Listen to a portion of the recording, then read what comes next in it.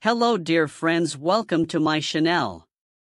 Today, I will speak for you. Tim Draper, a leading cryptocurrency advocate and billionaire investor, faced an unexpected backlash during his visit to Sri Lanka. By subscribing to my channel, you can learn more about cryptocurrencies. Sri Lanka rejects Tim Draper's Bitcoin proposal.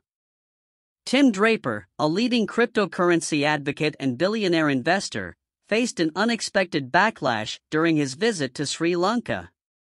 The Silicon Valley entrepreneur faced backlash in his country for filming an episode of the TV show Meet the Draper and promoting widespread adoption of Bitcoin. According to the report published by Bloomberg, Tim Draper's proposal was not well received by the country's President Ranil Wickremesinghe and Governor Nandalal Weerasinghe, who is when currently Web focused on stabilizing the country's started, finances. Web 3 started. But I'll tell you what, Tim Draper couldn't convince Sri Lanka. in a lot of different ways. During his meeting with Governor Weerasinghe, Draper insisted on efforts to promote cryptocurrency adoption. He asked whether the management had the courage to undertake such a project and highlighted the benefits of having a private currency.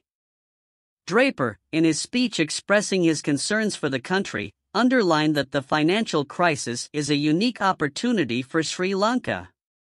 He argued that the adoption of Bitcoin could help mitigate corruption by keeping an accurate record of transactions.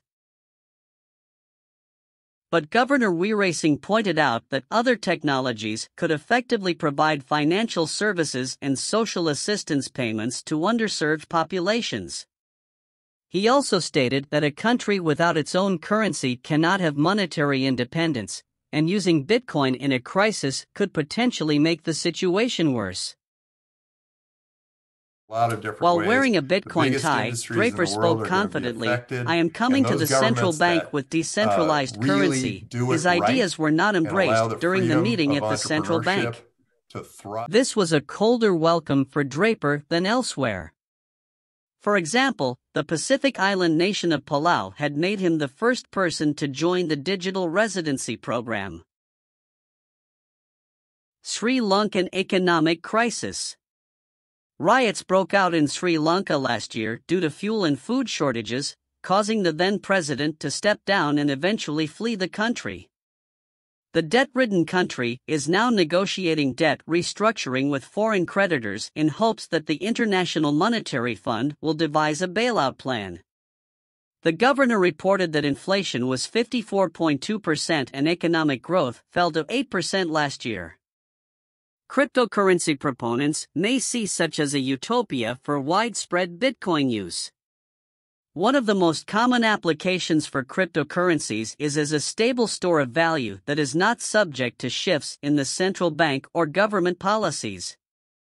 Draper even brought up El Salvador, which has officially recognized Bitcoin as legal tender. However, examples like as El Salvador's narrowly avoided default only last month may serve more as a warning than anything else. However, back in 2021, Sri Lanka deemed crypto solutions a necessity, forming a team to oversee Shift.